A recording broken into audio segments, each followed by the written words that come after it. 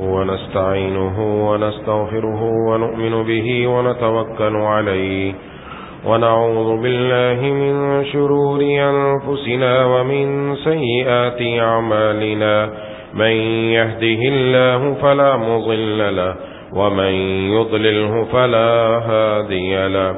ونشهد أن لا إله إلا الله وحده لا شريك له. ونشهد أن سيدنا ومولانا محمدا عبده ورسوله. صلى الله تعالى على خير خلقه محمد وعلى آله وأصحابه ومن تبعهم بإحسان إلى يوم القيامة. أما بعد فأعوذ بالله من الشيطان الرجيم. بسم الله الرحمن الرحيم. والذين إذا فعلوا فاحشة أو ظلموا أنفسهم ذكروا الله ذكروا الله فاستغفروا لذنوبهم. ومن يغفر الذنوب إلا الله ولم يصروا على ما فعلوا وهم يعلمون صدق الله العظيم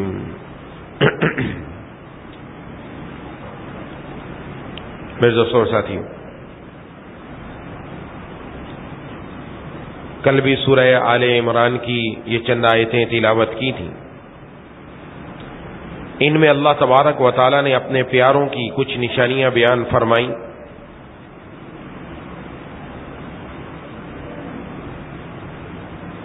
کہ جو جنت پرہیزگاروں کے لیے تیار کی گئی، وہ پرہیزگار کیسے ہوتے ہیں؟ ان کی صفات کیا ہے ان کی پہلی صفت یہ بیان فرمائی کہ وہ اللہ کے راستے میں خرچ کرنے کے عادی ہیں۔ خوشحالی میں تنگ دستی میں، ہر حال میں اللہ کے راستے میں خرچ کرتے ہیں، جس کا حاصل یہ نکلا کہ چاہے ان کے پاس مال کی فراوانی ہو، چاہے مال کی فراوانی نہ ہو، دونوں حالتوں میں ان کا اللہ سے تعلق قائم رہتا ہے۔ دوسری بات فرمائی ول کاظمین الغیز وہ غصے کو پی جانے والے ہیں، غصے کو دبا دیتے ہیں۔ غصے کے تقاضے پر عمل نہیں کرتے نہ صرف عمل نہیں کرتے بلکہ وہ دل سے لوگوں کو معاف بھی کر دیتے ہیں اور آگے بڑھ کر مزید احسان بھی کر دیتے ہیں۔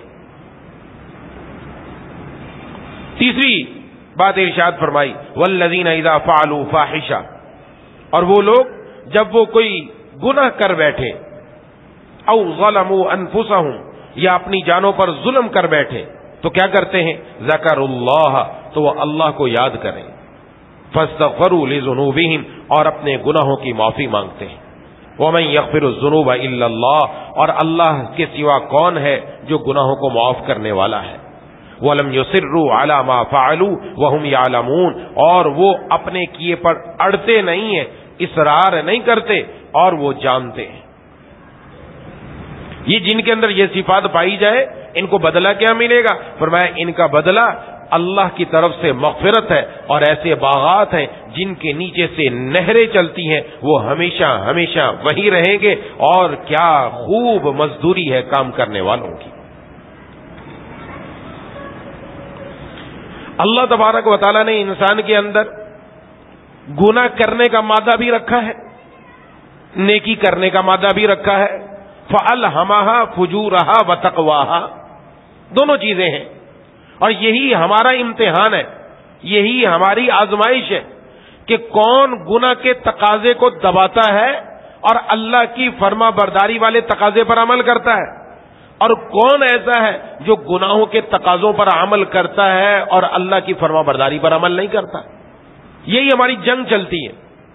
ہماری دو اپوزیشن ہے، دو دشمن ہے ایک نفس ایک شیطان شیاتین جگڑ دیے گئے، نفس ہمارے ساتھ لگا ہوا ہے، اور جب نفس کی ڈیمانڈ پوری نہ ہو، نفس کی ڈیمانڈ کیا ہے؟ نفس کی ڈیمانڈ گنا ہے، نفس کی ڈیمانڈ اللہ کی نافرمانی ہے، نفس تقاضا کرتا ہے، غیبت کرو، نفس تگڑا ہوتا ہے اس کے ذریعے، غیبت کرنے سے، چغلی کھاؤ، کسی پر بہتان باندھو، جھوٹ بولو بد نظری کرو، گانا سنو، اللہ کی نافرمانی کرو، چھپ کر کرو، ہر مختلف قسم کی نافرمانیاں، یہ نفس جب یہ کرواتا ہے تو نفس تگڑا ہوتا ہے، نفس مضبوط ہوتا ہے، لیکن روزہ مقصد اس کا یہ، اس نفس کو کمزور کرنا۔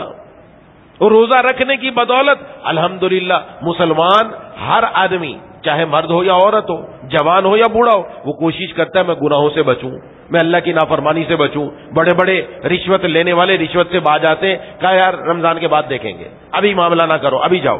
ہاں؟ بڑے بڑے، چھوڑ دیا، حرام کام چھوڑ دیا۔ اللہ کی نافرمانی چھوڑ دی۔ کس وجہ سے؟ یہ روزے کی برکت سے۔ روزے کی برکت سے نفس کمزور ہوتا ہے۔ جب نفس کمزور ہوگا تو اب روح کو تگڑا کرنا ہے۔ روح تگڑی ہو جائے گی تو رمضان کے بعد بھی روح تگڑی ہوگی۔ نفس کو غالب مغلوب کر دینا آسان ہو جائے گا۔ یہ ہمارا کام ہے۔ یہ ہماری ذمہ داری ہے۔ یہ اللہ تعالیٰ نے ہمیں دنیا میں اس لیے بھیجا کہ نفس کے تقاضوں پر عمل نہ کرو، بلکہ میرے حکموں پر عمل کرو۔ ایسا نہیں ہے کہ نفس کا ہر تقاضا ہی برا ہے۔ نہیں، کچھ تقاضے اچھے ہیں۔ وہ تقاضا نفس کا جو شریعت سے ٹکراتا ہے، جو اللہ کے حکم سے ٹکراتا ہے، جو حضور صلی اللہ علیہ وسلم کی حدیث سے ٹکراتا ہے، اس تقاضے پر عمل نہیں کرنا۔ اور جو قرآن و سنت کے مطابق ہے، اس تقاضے پر عمل کرنا جائز ہے۔ حلال کھاؤ اچھا کھاؤ اچھا پہنو۔ شریعت نے اجازت دی ہے، اس میں منع نہیں کیا۔ آپ کا اچھا گھر ہو، اللہ نے نعمت دی ہے۔ آپ اچھے گھر کے اندر رہے آپ کے پاس نعمت ہے اچھا لباس پہننا چاہتے ہیں، پہنے۔ یہاں یہ اجازت ہے اچھا کھانا چاہتے ہیں، کھائیں، لیکن ایک بھی حرام کام نہ کریں۔ میرے پیرو مرشد عارف بلّہ مجدد زمانہ، حضرت اختر مولانا شاہ حکیم محمد اختر صاحب نور اللہ مرکدو فرماتے تھے، نفس کی حلال ڈیمانڈ پوری کرو، حرام ایک بھی پوری نہ کرو۔ اس کو کو تجھے حلال دے دیا، حرام ایک بھی پوری نہ کرو۔ بس، آپ اللہ کے ولی ہیں۔ اب اللہ کے ولی بن گئے۔ فرائض پورے کیے، نمازیں پوری پڑی واجبات پورے کیے، سنت موقع پورے کیے، زیادہ نوافل اگرچہ نہیں پڑھ سکے، اگر اللہ کی ایک بھی نافرمانی نہیں کر رہے، آپ اللہ کے ولی ہیں۔ آپ اللہ کے پیارے اور یہی متقی ہے اور کون ہے؟ تقوی اختیار کرنے والا کون ہے؟ وہی ہے جو گناہوں سے بچتا ہے۔ لیکن انسان ہے، کہیں پھسل جاتا ہے، پھسل جائے تو اب کیا کرے؟ اگر پھسل گیا تو اس کے لیے اللہ تبارک بتانے راستہ دیا ہے۔ یہ جو نفس ہے نا انسان کے ساتھ لگا ہوا، یہ کبھی تو ایسا لگتا ہے کہ ہمارے دل میں گناہ کے تقاضا آ ہی نہیں رہا۔ میں بالکل ٹھیک ہو گیا۔ لیکن کبھی اتنی شدت سے آتا ہے کہ بندہ اس کے سامنے زیر ہو جاتا ہے۔ علامہ رومی رام اللہ نے اس کی مثال دی ہے کہ ایک لکڑ ہارا جو لکڑیاں کاٹتا تھا جنگل میں جا کر، وہ ایک دن سردی کے زمانے میں صبح سویرے لکڑیاں کاٹنے گیا تو ایک بڑا ازدہا اس کو ملا جو بالکل ایسا تھا جیسے مرا ہوا۔ اس نے اس ازدے کو پکڑا، کھینچ کر لے آیا لکڑیوں کے ساتھ اور آ کر شیخی بگاڑنے لگا، دیکھو کتنا بڑا ازدہ مار کر لایا ہوں میں جنگل سے۔ سب کے سامنے شیخی بگاڑی۔ اس سردی لگنے کی وجہ سے ازدہ مردہ پڑا ہوا تھا۔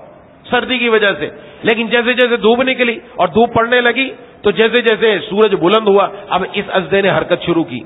جب اس نے حرکت شروع کی، سب سے پہلے بھاگنے والا یہ لکڑ ہارا تھا، جو کہہ رہا تھا، مار کر آیا ہوں میں۔ تو مار، بھاگ لیا۔ تو علامہ رومی رام اللہ فرماتے ہمارے نفس کی مثال بھی ایسے ہے۔ کبھی کبھی یہ لگتا ہے مردہ ہو گیا۔ یہ مردہ نہیں، جہاں اس کو گنا کی حرارت ملتی ہے، جہاں گنا کی گرمی ملتی ہے، جہاں گنا سے کوئی گرمی اس کی طرف آتی ہے، یہ فوراً حرکت میں آتا ہے اور فوراً چاہتا ہے کہ کسی طرح میں اس گنا کی طرف لپک جاؤں اور اس گنا کو کر لوں۔ بس یہ ہمارا امتحان ہے۔ اور گنا کا تقاضا ایسا بھی نہیں ہے کہ وہ ہمارے سر پہ سوار ہو گیا، چوبیس گھنٹے سوار ہے، ایسا نہیں ہے۔ یہ گنا کا تقاضا زیادہ سے زیادہ پانچ منٹ آپ کہہ لیں پانچ منٹ۔ پانچ منٹ دماغ کے اندر ایک چکی گھومتی ہے، دماغ کے ابال ابال آتا ہے دماغ کے اندر گنا کا۔ پانچ منٹ زیادہ بتا رہا ہوں۔ بس اس وقت اپنے آپ کو کنٹرول کرنا ہے۔ اس وقت تنہائی سے نکل آؤ۔ اس جگہ سے اٹھ جاؤ۔ فوراً اللہ کی طرف آ جاؤ۔ نماز میں لگ جاؤ۔ تلاوت میں لگ جاؤ۔ تصویرات میں لگ جاؤ۔ یہ نہیں کر سکتے۔ گھر والوں میں باتوں میں لگ جاؤ۔ بیوی سے باتوں میں لگ جاؤ۔ بچوں سے باتوں میں لگ جاؤ۔ اما ابا کے ساتھ باتوں میں لگ جاؤ۔ ان کے کاموں میں لگ جاؤ۔ بس اپنے آپ کو مصروف کر دیا۔ یہ دو تین منٹ میں جو ندی دماغ میں چڑھی تھی نا گناہوں کی، بس اسی وقت اتر جائے گی۔ اس کے بعد سارا دن دل میں گناہ کا خیال نہیں آئے گا۔ ہم نے اس کو ڈبو دیا۔ یہ ہے اصل کام۔ یہی اللہ چاہتے ہیں کہ یہ نفس کے ساتھ یہ معاملہ کرو۔ یہ نفس کے اندر جو ڈیمانڈ ہے، اس ڈیمانڈ، اس تقاضے کو پورا نہیں کرنا۔ لیکن پھر بھی اگر گنا ہو جائے، تو پھر رب تعالیٰ نے دروازہ کھول رکھا ہے۔ اگر گنا ہو رہا ہے، اللہ کی نافرمانی ہو رہی ہے، یہ یاد رکھیں، میں ہو رہا ہوں، کہہ رہا ہوں۔ گنا کرنا نہیں ہے۔ کرنے کی چیز نیکی ہے۔ کرنے کی چیز اللہ کی فرما برداری ہے۔ گنا کرنے کی چیز نہیں۔ گنا ہو جائے۔ ہو جانے کا مطلب ہم نے اپنے آپ کو بچایا، پھر بھی ہو گیا۔ ایسا نہیں گنا کے لیے منصوبہ بندی ہو رہی ہے۔ رات کو بیٹھ کر ہم نے گندی فلم دیکھنی ہے۔ رات کو بیٹھ کر ہم نے یہ فلاں کام کرنا ہے۔ ہاں اس کے لیے باقاعدہ منصوبہ بندی کی، وقت نکالا، دوست یاروں کو جمع کیا۔ یہ ہم گنا کرنے کے لیے پوری پلاننگ کر رہے ہیں۔ یہ یہ بالکل غلط ہے۔ یہ اجازت نہیں ہے۔ یہ ہم اللہ کی نافرمانی کی طرف جا رہے ہیں۔ اب ہمارا نفس تگڑا ہو رہا ہے۔ ہماری روح کمزور ہو رہی ہے۔ ایک گھوڑا اگر جا رہا ہو، گھوڑے کے اوپر لوگ جو سواری کرتے تھے اللہ رومی رام اللہ نے اس کی مثال بھی دی ہے، بڑی سمجھانے کے لیے۔ میں گھوڑے کو بھوک لگی ہے اور آپ کسی اونچے پہاڑ پر ہیں اور نیچے کھائی کے اندر سبز سبز گھاس نظر آ رہی ہے اور گھوڑے کو اتنی شدت کی بھوک ہے کہ آپ کو پتا ہے کہ اس نے چھلانگ لگا دینی اب نیچے گھاس کھانے کے لیے۔ تو اب گڑ سوار اپنے آپ کو بچانے کے لیے اس کو پتا یہ خود بھی مرے گا، مجھے بھی مارے گا۔ زور سے اس کی لگام کھینچتا ہے، اتنی زور سے کھینچتا ہے کہ اس کی باچھیں بھی چر جاتی ہیں۔ لیکن وہ اتنی زور سے کھینچتا ہے کہ اس کو روک کے رکھتا ہے کہ تجھے ہرگز وہاں جانے کی اجازت نہیں۔ فرمایا، اپنی روح کو اپنے نفس پر غالب کر دو۔ روح اس کے اوپر سوار بن جائے اور نفس کی لگام اتنی زور سے کھینچے کہ اس کی چیخیں نکل جائیں۔ اور جب چیخیں نکلتی ہیں تو میرے حسرت زدہ دل پر انہیں یوں پیار آتا ہے۔ میرے حسرت زدہ دل پر انہیں یوں پیار آتا ہے کہ جیسے چوم لے ماں چشم نم سے اپنے بچے کو۔ اب دل میں اللہ تبارک و تعالیٰ کا پیار آئے گا جب دل کی چیخ نکلے گی۔ جیسے چھوٹا بچہ ماں کا دودھ نہیں چھوڑتا، چھوڑوانے پر چلاتا ہے، چیختا ہے، لیکن اس کے بعد اس کو اچھی غذا ملتی ہے۔ یہ نفس گنا چھوڑنے پر چلاتا ہے، لیکن اس کے بعد جو اس کو ملتا ہے، وہ اللہ کا پیار ملتا ہے، وہ اللہ کی محبت ملتی ہے، وہ اس سے بڑھ کر ملتی ہے۔ اس لیے یہ کام ہے کہ رب کے در پر چلتے ہی رہنا ہے۔ ہاں گنا ہو جائے ہو جائے، تو پھر توبہ کرنے میں دیر نہیں کرنی، پھر رب کے در پر آ کر اللہ سے فوراً معافی مانگ لینی ہے۔ حدیث شریف میں ہے، اللہ تعالی بندے کے توبہ کرنے پر اس سے کہیں زیادہ خوش ہوتے ہیں۔ توبہ کرتے ہیں نا جب اللہ خوش ہوتے ہیں۔ اللہ کو خوش کرنے والا عمل یہ ہے کہ ہم اللہ کے سامنے آ کر اپنے گناہوں کی معافی مانگیں۔ گناہوں کی معافی مانگ لیں۔ فرمایا، اتنا خوش ہوتے ہیں، اتنا وہ بندہ بھی خوش نہیں ہوتا جس بندے نے کوئی صحرا میں جا رہا تھا، اپنی سواری کے اوپر اونٹ تھی، سواری ساتھ لے کر، جس کے اوپر پانی بھی تھا، کھانا بھی تھا، ایک جگہ رکا کہیں میں رکتا ہوں یہاں پر، تاکہ تھوڑی دیر بعد چلوں گا، اور وہاں آنکھ لگ گئی، تھوڑی دیر بعد اٹھا، دیکھا، نہ سواری ہے، نہ پانی ہے، اور نہ ہی وہاں اس کا سامان ہے، سب گیا، غائب، دائیں بائیں، دیکھا، کہیں نظر نہیں آیا۔ اب یہ بےچارا مایوس ہو کر پڑ گیا کہ سہارا میں کون میری مدد کرے گا۔ اسی میں پڑا ہوا، اسی حالت کے اندر کہ اب تو موت ہی آئے گی، اب تو کچھ نہیں آنا۔ اچانک آنکھ لگی، دوبارہ جب آنکھ کھلی تو دیکھا کہ وہ سواری بھی موجود ہے، کھانا بھی موجود ہے، پانی بھی موجود ہے، تو یہ خوشی کے مارے یہ کہنے لگا، اے اللہ میں تیرا خدا، تو میرا بندہ، نعوذ باللہ۔ ہاں خوشی میں کہا اس نے کہ تم میرا بندہ، میں تیرا خدا، یہ کہہ دیا۔ میں اس کو اتنی خوشی ہوئی۔ اللہ اس بندے سے بھی کہیں زیادہ خوش ہوتے ہیں جب بندہ رب کے در پر آ کر اپنے گناہوں کی معافی مانگتا ہے۔ اللہ کے سامنے توبہ کرتا ہے۔ کیا اللہ کیا پیار ہے کہ اللہ خوش ہو رہے میرا بندہ معافی مانگنے کے لیے آیا، میرا بندہ میرے سامنے توبہ کرنے کے لیے آیا۔ اس پر اللہ تبارک و تعالیٰ بندے کے گناہوں کو معاف فرماتے ہیں۔ تو اصل چیز یہ ہے کہ گنا تو نہ ہو ہو جائے تو پھر توبہ کرنے میں دیر نہیں کرنی۔ اللہ کے سامنے آ کر گناہوں کی معافی مانگنے میں دیر نہیں کرنی۔ یہ جو قرآن کریم کی آیت میں فرمایا نا کہ ذکر اللہ، وہ اللہ کو یاد کرتے ہیں۔ کیا یاد کرتے ہیں؟ اللہ کی عظمت کو، اللہ کی وعید کو یاد کرتے ہیں۔ اللہ کتنے بڑے اور اللہ تعالیٰ کی طرف سے اس پر سخت کتنی وعید ہے۔ اور میں کیسا نالائک ہوں؟ میں نے اللہ کی نافرمانی کر دی۔ یہ ان کو یاد آتا ہے تو اپنے گناہوں کی معافی مانگنے رکھتے ہیں۔ ان کو اللہ تبارک و تعالیٰ کا جلال یاد آ جاتا ہے، اللہ کی حیبت یاد آ جاتی ہے۔ دنیا میں کہیں شیر آ جائے نا، شیر دھاڑے سب کی زمانے بند ہو جاتی ہیں ہاں؟ اور بالکل انسان کے اوسان ختم ہو جاتے ہیں، شیر دھاڑے۔ اور یہاں تو شیر کا خالق، شیر کے خالق سے جب جا کر ملاقات ہوگی آخرت میں تو پھر بندے کا کیا حل ہوگا؟ اللہ کا جلال۔ کیسے جلال والی ذات ہے وہ؟ کیسی حیبت والی ذات ہے وہ؟ یہاں اوسان ختم ہو جاتے ہیں، تو وہاں کیا بنے گا؟ تو یہ یہ دل میں آتا ہے فسط اپنے گناہوں کی معافی مانگتے یہ گناہوں پر اصرار نہیں کرتے۔ اصرار کرنے والا گناہوں پر کون ہے؟ جو گناہ کر کے توبہ نہیں کرتا۔ گناہ ہو گیا، توبہ نہیں کی۔ اللہ سے معافی نہیں مانگی۔ حدیث شریف میں جو بار بار گنا کے بعد توبہ کر رہا ہے، بار بار گنا کے بعد توبہ کر رہا ہے۔ وہ اگرچہ دن میں ستر مرتبہ توبہ کرے، یہ گنا پر اصرار کرنے والا نہیں ہے۔ یہ اصرار کرنے والا نہیں، اصرار کرنے والا وہ ہے کہ جو گنا کے اوپر جم جاتا ہے، اڑ جاتا ہے، رب کے سامنے آ کر توبہ نہیں کرتا۔ یہ ہمیشہ یاد رکھے، توبہ جب تک شرائط کے ساتھ نہ ہو، توبہ نہیں ہوتی۔ توبہ کی پہلی شرط، دل میں ندامت آئے، شرمندگی آ جائے۔ نمبر دو اپنے سے گنا کو جدا کر دے گنا نکل جائے زندگی سے۔ اور نمبر تین، پختہ ارادہ آج کے بعد گنا نہیں ہوگا۔ اور نمبر چار، اگر کسی کا حق میرے ذمے میں وہ میں حق ادا کرنے والا بن جاؤں۔ یہ چار باتیں جب پائی جاتی تب توبہ قبول ہوتی ہے لیکن ایک آدمی گنا میں ہے، حرام کما رہا ہے، حرام کمائی نہیں چھوڑ رہا، حرام کما رہا ہے، اب اس کو احساس ہوا، میں کیا کروں؟ استغفار کرے، توبہ تو اب نہیں ہو سکتی، کیونکہ گناہ تو چھوڑنا پڑے گا۔ اب استغفار کرے استغفر اللہ ربی من کل زمبی و اطوب الی حدیث شریف میں جو بندہ یہ کہتا ہے اور دل سے کہتا ہے، یہ صرف زبان سے نہیں، دل سے کہا، اے اللہ میں اپنے گناہوں کی معافی مانگتا ہوں، یہ استغفار کیا۔ فرمایا، اگرچہ وہ میدان جنگ سے بھاگا ہو، اللہ اس کا یہ گناہ بھی معاف فرما دیتے ہیں۔ وہ آ کر مانگے صحیح۔ استغفار کی عادت۔ استغفار سے اللہ ایک دن توبہ پوری کروا دیں گے۔ توبہ پوری کروا دیں گے۔ اگر گنا نہیں چھوٹ رہا، استغفار بھی تو نہ چھوڑیں، استغفار بھی نہ تو نہ چھوڑے حدیث شریف میں اس آدمی کے لیے خوشخبری ہے جو کل قیامت وائے دن اپنے نامہ اعمال میں خوب استغفار پائے گا۔ استغفار پائے، اس کے لیے بڑی خوشخبری ہے۔ اور جو تقوا پر اللہ نے انعام قرآن میں بیان کیا کہ تقوا اختیار کرنے والے کو یعنی اس آدمی کو جس کی زندگی میں گناہ نہیں ہوتا، وہ اپنے آپ کو گناہوں سے بچا کے رکھتا ہے۔ اپنی ہمت استعمال کر کے اللہ کی نافرمانی نہیں کرتا۔ اللہ فرماتے ہم اس کو ہر مشکل سے نکلنے کا راستہ دیتے ہیں، ہم اس کا ہر کام آسان کر دیتے ہیں، ہم اس کو ایسی جگہ سے رزق دیتے ہیں کہ اس کے واہم و گمان میں بھی نہیں ہوتا۔ حدیث میں جناب نبی کریم صلی اللہ علیہ وسلم نے فرمایا، جو بندہ استغفار کو لازم پکڑ لے یعنی بار بار استغفار استغفار کرتا رہے، اللہ تعالیٰ سے مانگتا رہے، فرمایا، اللہ تعالیٰ یہی تینوں انعام استغفار بھی ادا فرما دیتے ہیں۔ کیا اللہ کی کرم نوازی ہے؟ توبہ پر بھی اللہ وہ انعام دے رہے، متقی ہونے پر بھی، اور استغفار میں بھی اللہ وہی انعام دے رہے، تو استغفار کو لازم پکڑ لیں۔ خوب اللہ تبارک و تعالیٰ سے مانگے، اپنے گناہوں کی معافی مانگے، رب تعالیٰ کے در پر آئے، اللہ تبارک و تعالیٰ کے تو پیار کے کیا کہنے؟ اللہ تبارک و تعالیٰ بندے کی توبہ سے خوب خوش ہوتے ہیں۔ لیکن بندے کا کام ہے رب کے دربار آئے، بس آتے رہو۔ چلتے رہو۔ ہم نے طے کی اس طرح سے منزلیں، ہم نے طے کی اس طرح سے منزلیں۔ گر پڑے، گر کر اٹھے، اٹھ کر چلے۔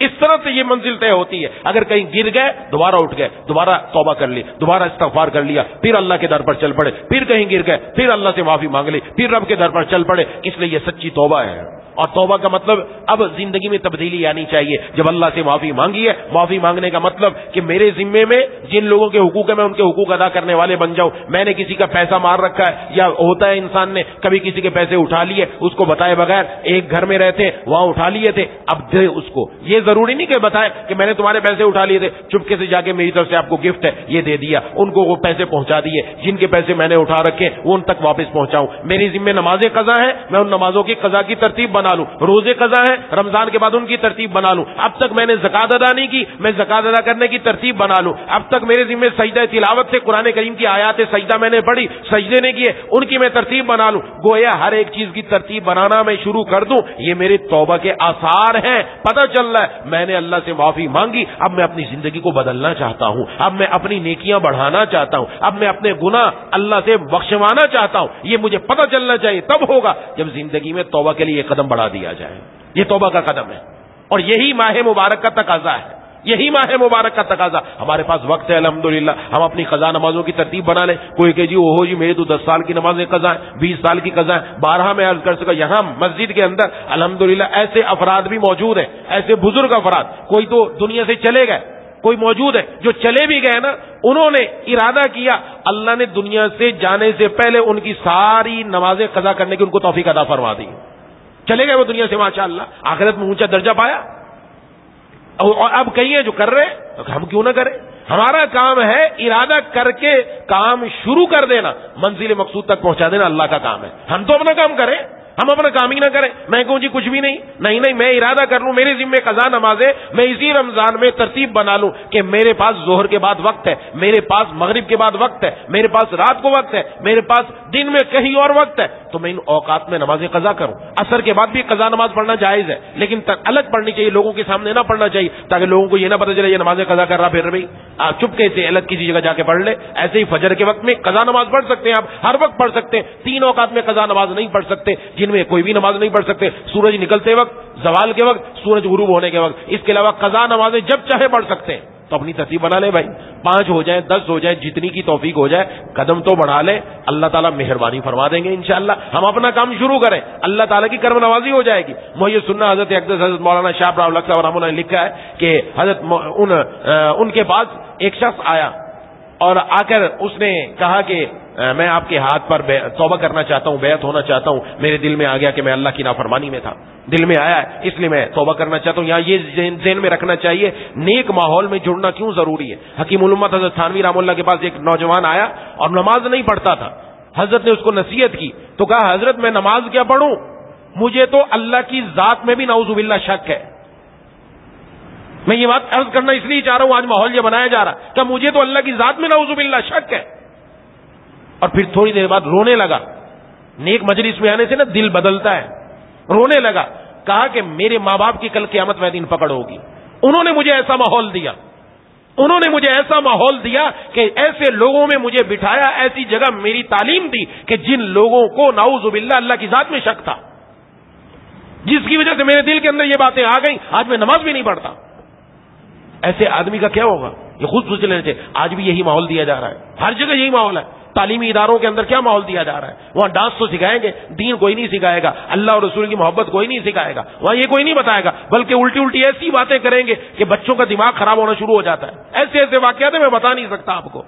انیس دہریہ قسم کے لوگ، وہ آج ہماری یونیورسٹیوں کے اندر پڑھا رہے ہمارے نوجوان طبقہ جا کے پڑھ رہا ہے، وہ اپنے دماغوں میں وہ اشکالات لے کر آ رہا ہے۔ ناؤز باللہ، اس بندے کو اللہ کی ذات میں ہی شک ہو جائے تو یہ مسلمان ہی نہ رہے ناؤز باللہ۔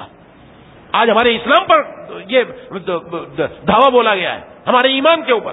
تو بہرحال، تو حضرت کے پاس آیا، تو توبہ، بیٹا حضرت کا بیان سنا، دل میں آ گئی۔ تو حضرت نے توبہ کرائی، پوچھا، کام کیا کرتے ہو؟ کا کام کیا کرنا، چوری کرتا ہوں۔ چور ہوں۔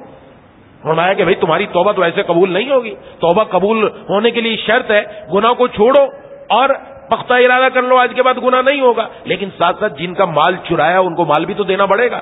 تو مال دینا ضروری ہے۔ اس کے بغیر چارہ نہیں ہے۔ کہا، حضرت، مال کیسے دوں؟ میں جس کے پاس بھی جاؤں گا، وہ مجھے پکڑ کے جیل میں ڈلوا دیں گے کہ یہ چور پکڑا گیا۔ فرمایا، دنیا کی جیل میں جانا پڑے، چلے جاؤ۔ آخرت کی جیل تم نہیں سہ سکتے۔ آخرت کی جیل جہنم ہے، وہاں کون جا کر اس کو سہے گا؟ دنیا کی تکلیف برداشت کر لو۔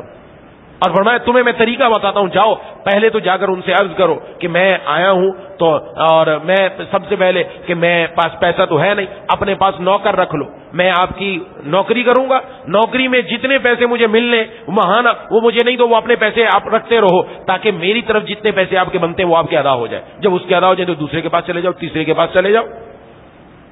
اب جو بندہ اللہ تعالیٰ کی طرف سے ارادہ کر لے، آج ہم یہ سوچ لیں نا، بڑا مشکل لگتا ہے، میں آگے اس لیے یہ واقعہ عرض کر رہا ہوں۔ یہ کوئی بہت سالوں پہلوں کا واقعہ نہیں ہے کہ کوئی دور کا واقعہ، قریب کا واقعہ ہے۔ اس لیے عرض کر رہا ہوں، ارادہ کر لے، اللہ کام کیسے بناتا ہے؟ کہ بعض مرتبہ مالی حقوق بندے کی ذمہ بہت ہوتے ہیں۔ وہ کہتے ہیں میں کیسے ادا کروں؟ آپ ارادہ کرنے کی ٹھانو تو صحیح اللہ کے بندے، قدم تو بڑھاؤ۔ آپ دس روپے تو نکالو۔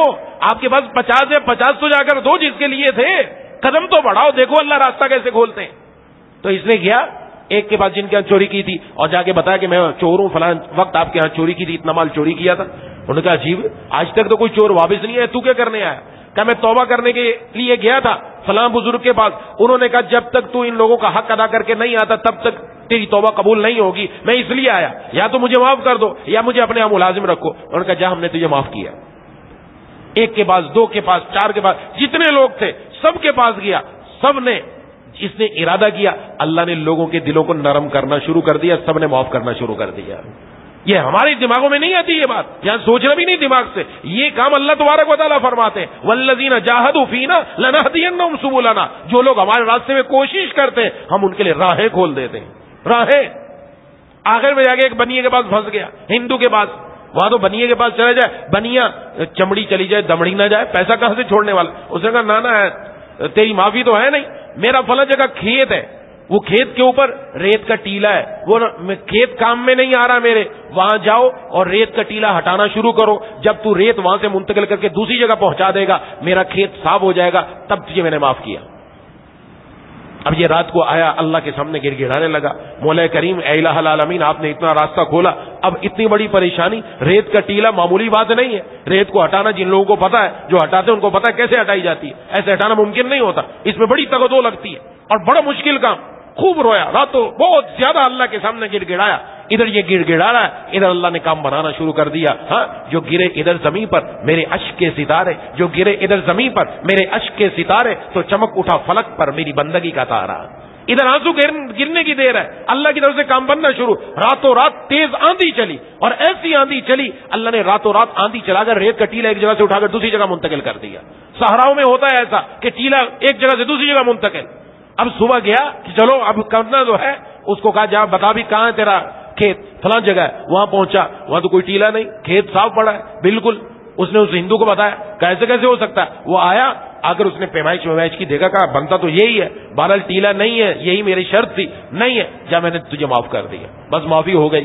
یہ سارا کام اللہ نے بنا دیا۔ واپس حضرت کے پاس آیا، توبہ کی، فرمایا، آج وہ اللہ کا ایسا پیارا ہے، لوگ اس کے پاس بیٹھ کر اپنے دلوں میں اللہ کی محبت حاصل کر کے جاتے ہیں۔ آیا وہ چور تھا، اب وہ اللہ کا ولی بن گیا، ولی ساز بن گیا، جو بیٹھتے ہیں ان کے دل کی دنیا بھی بدل جاتی ہے۔ یہ اللہ تعالیٰ کی طرف سے۔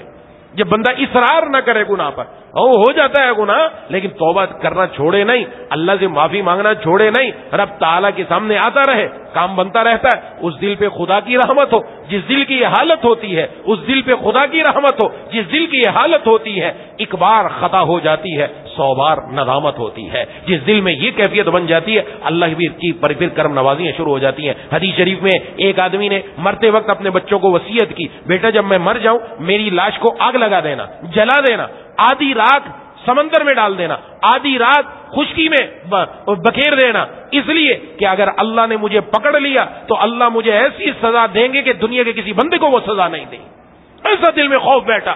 ایسی وصیت کرنا جائز نہیں، ناجائز ہے کہ اس نے وصیت غلط کی۔ لیکن پہلی امتوں کا واقعہ یہ حضور نے بیان فرمایا فرمایا یہ مر گیا، بچوں نے ایسا کیا کہ اس کو جلایا، جلا کر آدھی رات سمندر میں ڈال دی، آدھی رات خشکی میں بکھیر دی۔ اس بیچارے نے سمجھا شاید کام بن جائے گا۔ اللہ کیا کیا دیر ہے؟ اللہ نے سمندر کو حکم دیا کون جمع کر دو سارے اجزاء، سب جمع ہو گئے۔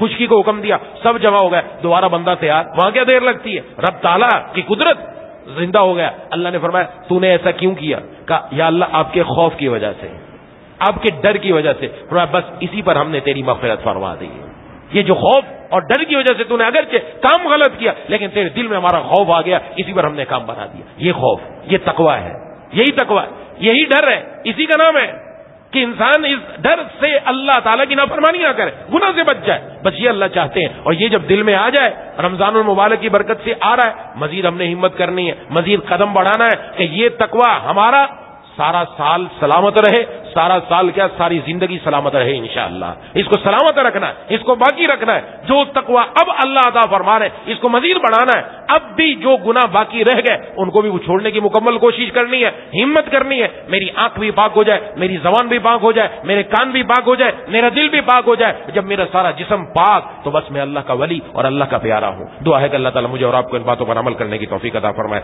واخر دعوانا الحمد للہ رب العالمین۔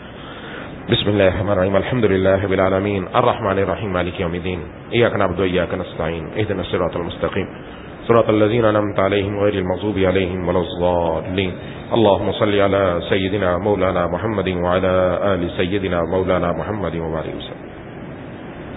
مولا کریم، اے الہ العالمین، اے ارحم الراحمین، یا ذل جلال والاکرام. یا الہ العالمین، ہم سب کے تمام صغیرہ کبیرہ گناہوں کو معاف فرما دیجیے. اے اللہ، اب تک کے ہمارے روزوں کو، تراوی کو، دیگر عبادات کو اپنی بارگاہ میں قبول مقبول فرما لے۔ یا اللہ، یقیناً ان روزوں میں کوتاہی ہوئی، تراوی میں کوتاہی ہوئی، تلاوت میں کوتاہی ہوئی۔ یا اللہ، سب معاف فرما کر اپنے پیاروں میں شامل فرما لیجیے۔ مولا کریم الہ العالمین ارم الراحمین، یا ذل جلالی والاکرام یا اللہ، ہم میں سے ابھی بھی جو جس گناہ میں مبتلا ہے، اسے وہ گناہ چھوڑنے کی توفیق عطا فرما۔ یا اللہ، اس رمضان کو ہماری زندگی کے بدلنے کا ذریعہ بنا دے۔ ہماری سوچ اور محور کو بدل دیجیے۔ یا الہ العالمین، ہماری ترجیحات کو بدل دیجیے۔ مولا کریم الہ العالمین، اس ماہ مبارک میں، یا اللہ ہم سب کو سچی توبہ کرنے کی توفیق عطا فرما۔ سچی توبہ کے بعد جو بندے کی زندگی میں تبدیلی آتی، وہ سب تبدیلیاں ہماری زندگی میں پیدا فرما دے۔ ہمارے اٹھنا، بیٹھنا، چلنا، پھرنا، گفتار، کردار، ہر ایک اپنے محبوب صلی اللہ علیہ وسلم کی سنت کے مطابق کرنے کی توفیق عطا فرما دیجیے مولا کریم، جتنے ساتھی مجھ سمیت موجود ہیں، ہم سب کے دلوں میں جتنی جائز تمنا ہے پوری فرما دیجیے ہم میں سے جو بیمار ہیں، گھروں میں جو بیمار ہے دوستوں احباب میں جو بیمار ہے والدین میں سے کوئی بیمار ہے، یا اللہ سب کو شفا کامل عاجل مستمر عطا فرما۔ جو مقروض ہیں ان کو قرضوں سے رہائی نصیب فرما، جو بے روزگار ہیں ان کو حلال برکت والا روزگار عطا فرما، جن کو حلال روزگار میسر ہے ان کی روزی میں خوب برکت عطا فرما۔ یا یا حلال امین یا ارمراہمین یا ذل جلالی والاکرام جتنی دعائیں آپ کے محبوب سرکار دو عالم صلی اللہ علیہ وسلم نے مانگی ہیں، سب ہم سب کے حق میں قبول فرما۔ جن نیتوں سے پناہ مانگی، ان سب سے ہم سب کو پناہ عطا فرما۔ اللهم كل خير لكل مسلم ومسلمة اللهم ارحم امه محمد صلى الله عليه وسلم۔ ربنا تقبل منا انك انت السميع العليم وتب علينا انك انت التواب الرحيم صلى الله تعالى على خير خلق محمد وعلى آله وأصحابه أجمعين برحمتك يا رب